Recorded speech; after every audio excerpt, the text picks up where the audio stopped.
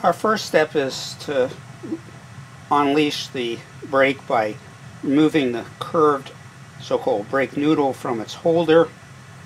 Sometimes it's a little tricky. You need to push the rubber forward, pull the noodle back,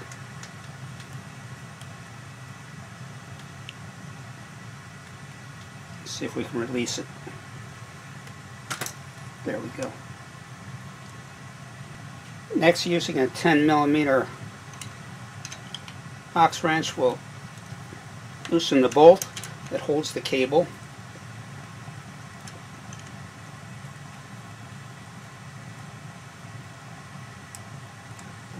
The cable runs through this.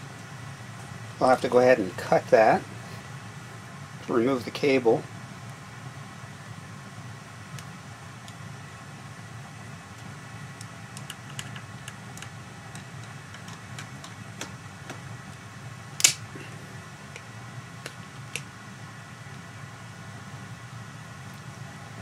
I can pull out the cable, take off the rubber holder, we can get a good idea what the end of the noodle looks like and how we had to pull this back enough so we can lift it up and out.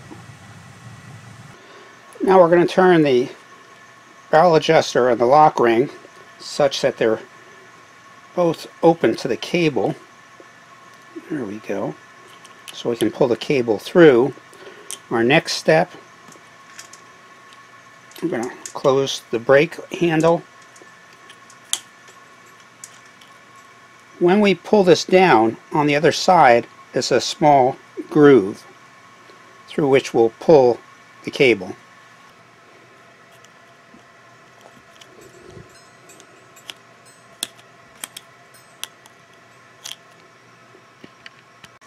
Now we can remove the cable and the housing. We'll remove the noodle some people will clean this with degreaser. I think this is pretty well shot and we'll go ahead and replace that. Our next step will be to remove from the ends the ferrules. We remove the ferrules at both ends so we can get we can see where they go on. We can use the piece of previous brake housing to measure for uh, our new brake cable. Some will use regular diagonal wire cutters. I find the Park cutters to work extremely well. We'll line that up with the length of cable housing we have here.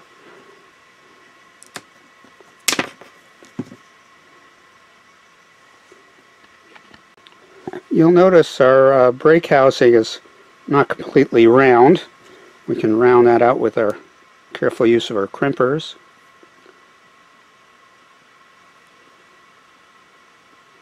There we go. You can use a pick or a small nail to open up the end of the housing.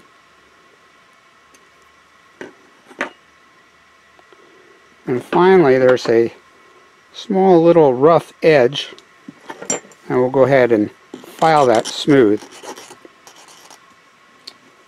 Here's a fast way to use that file.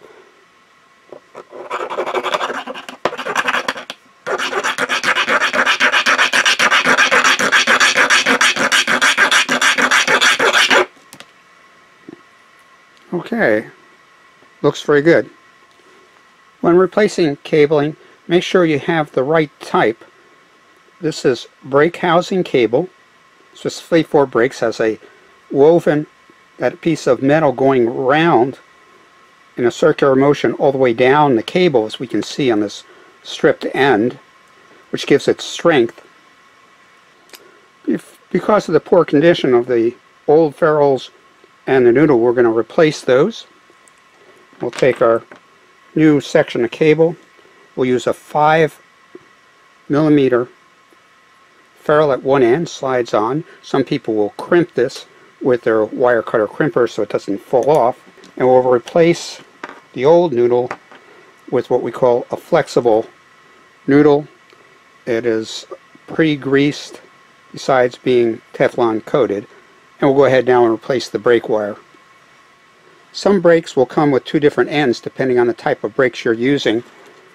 This is what we took out over here, so we'll need to cut off this end and install the brake cable. Hopefully you can see that in the brake handle itself there is a groove where we're going to place our brake cable. We'll line it up with the lock nut and the barrel adjuster. We're going to slide, or there's a groove here. We're going to slide in our brake cable. You can pull it back, let go. Now we can turn this a little bit so it doesn't fall out. And we're ready to install this in its housing. The brake cable is lined with a Teflon lining. Uh, most mechanics will tell you to put it on dry. Some will suggest a very fine lubricant, uh, such as a chain lubricant, Finish Line Dry, or an extra special Teflon lubricant. Uh, we're not going to do that in this case. We'll just go ahead and put on the cable uh, into the cable housing.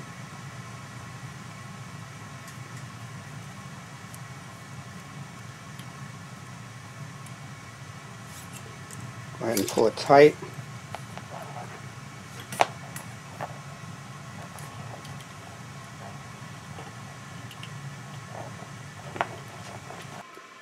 Turn the barrel adjuster up by the brake handle all the way in and then turn it out about maybe three or four turns.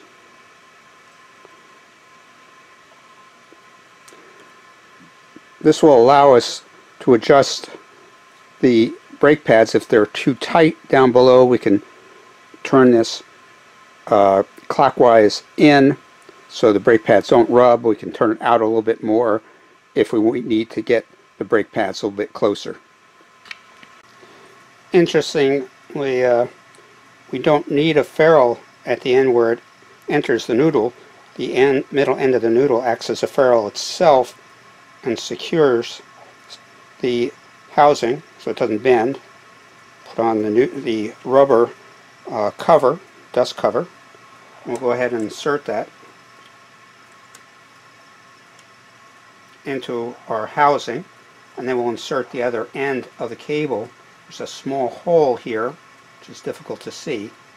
We'll insert the cable through that.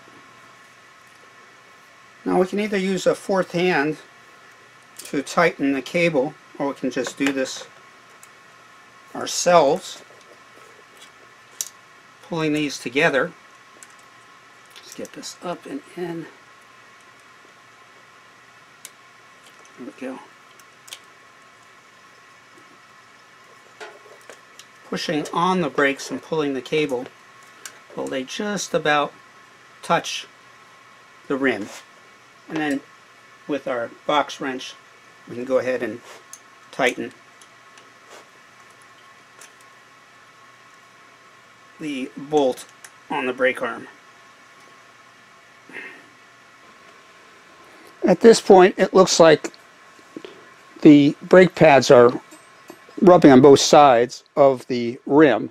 So let's take our barrel adjuster and turn it in that is clockwise to give us a little more room between the brake pad and the rim.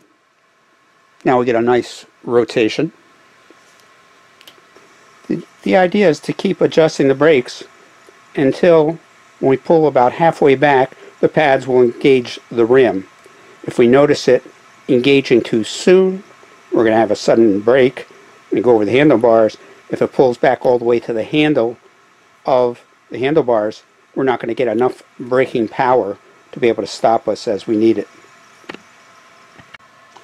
Now you may notice a problem that the brake pads don't seem to be centered on the rim. That is, when we turn this, we have plenty of clearance on this side, and it seems to be hitting over here. Well, what controls the centering are these two screws right down here. These screws increase the tension on the spring to move the pad away if we turn them in. If we unscrew them, that will decrease the tension on the spring and move the pad towards the rim. So we're getting, it's hitting on this side. We need to increase the tension over here by screwing this screw in.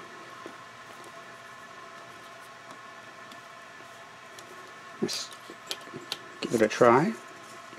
Better. Screw it in a little further. This will increase the spring action here and move both of these towards this side. We can also loosen the tension on this spring and move the pad a little bit closer.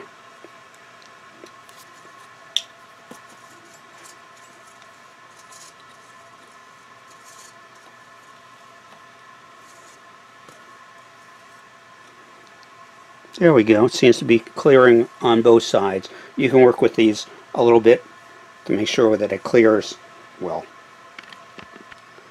Now we're ready to cut our cable. Where do we want to cut it? Well, there's a little lip here that'll hold the cable behind the brake and out of the way. So we'll cut it somewhere down in here.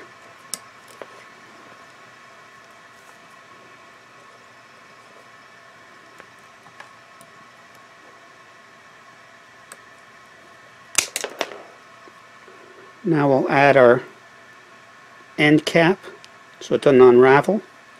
Use our, you can see it here, use our crimpers to crimp the end of that so it doesn't come off. Now we can wrap it around the bottom and recheck our brakes, make sure everything's alright. Okay, no rubbing. Pull back on the brake handle about halfway, engages the brake pads to the rim. Looks pretty good to me. Someone asked me, well what does this do? Well if you screw this in, you'll get a shorter reach for smaller hands. Okay, for our next episode of This Old Bike, we'll tackle the front and rear shifting. And maybe we'll get a new seat so we can get out on the road. Stay tuned. This is Tony of Tony Speed Safe Cycling.